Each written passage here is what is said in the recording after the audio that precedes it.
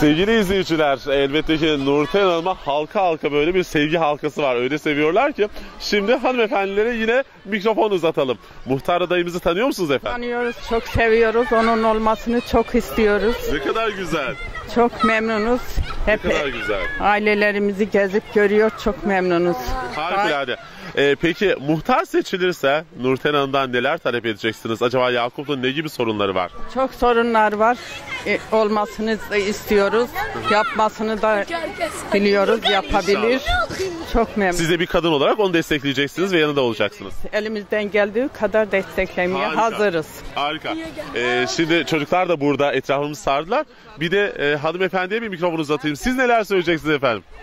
Biz çok seviyoruz kendisini. Çok başarılı. Çok iyi şeyler yapacağına da inanıyorum. İnşallah iyi bir muhtar olacak. Her zaman yanında olacağız. İnşallah efendim. Görmüş olduğunuz gibi halk Nurten Hanım'ı istiyor.